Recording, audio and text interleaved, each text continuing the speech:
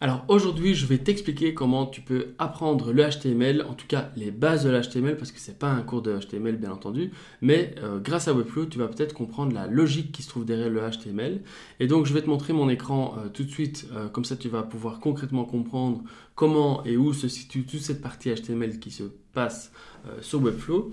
Et puis si tu as des questions, n'hésite pas à laisser un commentaire juste en dessous, comme ça je vais pouvoir y répondre et peut-être voilà débroussailler un peu le, les a priori que tu as à propos du HTML, car moi aussi j'aimais pas le code, et euh, aujourd'hui je travaille sur Webflow, et je crée des sites web euh, entièrement sur mesure, euh, mais bien entendu il y a cette logique de HTML qu'il faut apprendre, comme j'ai fait une autre vidéo à propos du CSS, eh bien ces deux éléments vont te permettre de faire des sites internet, mais pas que. Mais donc Aujourd'hui, je vais te montrer comment euh, se situe et où se situe la partie HTML dans Webflow.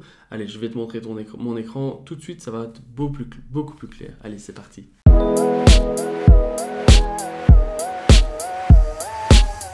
Alors avant toute chose, cette chaîne parle de web, de design et de freelance et donc je te donne tous des tuyaux, des astuces euh, à propos de Webflow et comment tu peux toi faire en sorte de gagner euh, plus de temps, plus en efficacité dans la création de sites web euh, grâce à Webflow. Et donc si tu veux, si tu as des questions, n'hésite surtout pas à laisser un commentaire juste en dessous, j'y répondrai dès que possible.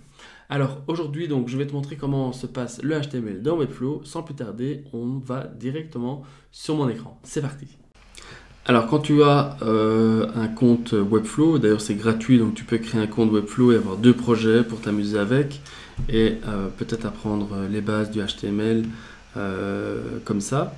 Et donc ici, sur mon tableau de bord, il y a plein de projets, je vais en prendre un que je vais te montrer, qui est pas mal je trouve. C'est Curtains, donc c'est rideau en anglais.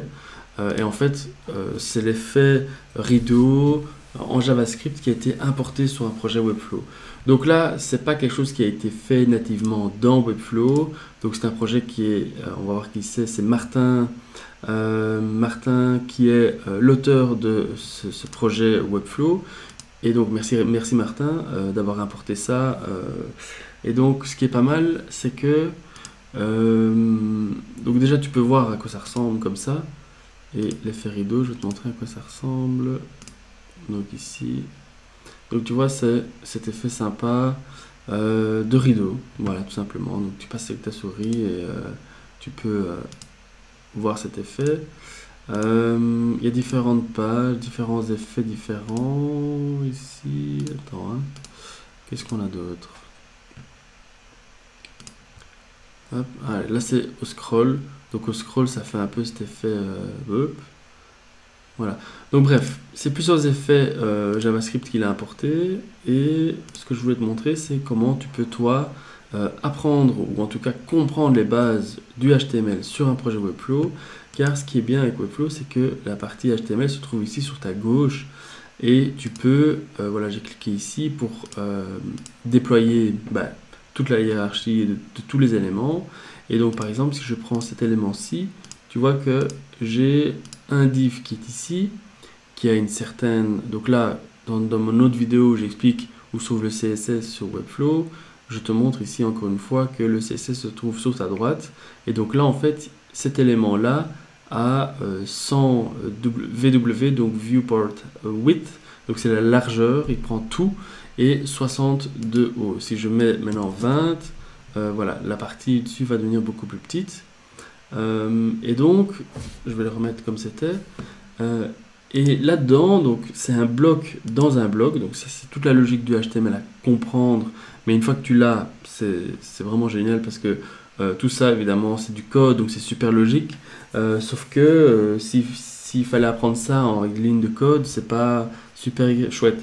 Moi personnellement, j'ai appris beaucoup grâce à Webflow euh, à propos du CSS et du HTML euh, parce que justement tout est visuel et que moi je suis plutôt une personne visuelle. Euh, donc je clique ici et je peux voir qu'il y a d'autres paramètres CSS. ici même chose et je peux ouvrir comme ça chaque élément et tu vois que toute la structure de cette page est en fait des blocs dans des blocs avec une hiérarchie bien propre, bien clean et contrairement au code que tu, que tu devrais écrire, ici tu prends le bloc que tu as envie et tu peux le déplacer. Donc là, bien entendu, ça va faire n'importe quoi parce que je, le mets un peu n'importe où. Mais tu peux toujours revenir en arrière, comme dans n'importe quel programme. Euh, mais ça permet d'avoir une logique, de savoir, ah oui, tiens, comment il a fait ça? Il a mis euh, quelle dimension? Il a mis quoi là? Enfin, tu vois euh, Donc ça, c'est toute la partie CSS qui, au final, peut exporter et créer vraiment du vrai code. Parce que Webflow, le but, c'est que tu peux vraiment créer du code. Donc je vais ici, par exemple, générer le, HTML. Tu vois que c'est vraiment des vraies lignes de code. Mais en fait, euh, mon navwrap home, il se trouve juste ici, navwrap home. Donc tu lui donnes un nom, tu, changes le nom, tu lui donnes quelques paramètres. Mais euh, c'est ça qui est génial avec Webflow, c'est que tu, comprends beaucoup mieux c'est beaucoup plus sympa à utiliser.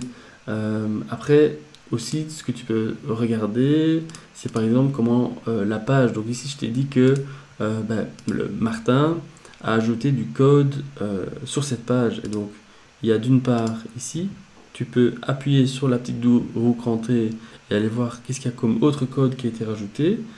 Donc tous les sites sont pas euh, comme ça, donc je te rassure, tu peux créer un projet euh, Webflow entièrement sur Webflow, mais ici je veux te montrer que d'un côté tu peux apprendre, et puis d'un côté pour un développeur ben, c'est un gain de temps de fou, donc tu peux accéder au code et ajouter euh, des lignes de code ici manuellement si tu veux, que ce soit en, ici c'est quoi, c'est du style, donc c'est du euh, CSS. Et puis sinon, ici, tu as aussi du JavaScript qui a été rajouté manuellement. Donc là, tu n'es pas obligé, mais ici pour l'effet rideau, qui est un effet plutôt récent et qui n'est pas encore dans, euh, directement dans Webflow, quoique tu pourrais y arriver à faire quelque chose de similaire, mais pas cet effet rideau vraiment comme là. Et puis je vois qu'il a encore ajouté la source de l'image ici sous forme d'un embed donc c'est un élément qu'il a ajouté dans un bloc. Et là de nouveau, ben voilà, tu peux euh, voir un peu euh, et chipoter euh, avec tout ça si, tu sais. Mais si tu es novice et que tu veux apprendre à, utiliser et à comprendre le HTML, je pense que Webflow ben, est, est, un bon moyen parce que tu vas pouvoir t'amuser et chipoter rapidement en fait avec tous ces éléments et euh, retrouver la logique qui se trouve euh, derrière le code.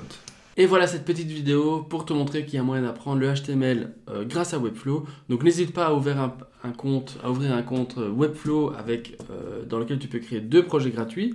Donc n'hésite pas, si tu as des questions, ça se passe dans les commentaires. Je te dis à bientôt pour une nouvelle vidéo. Ciao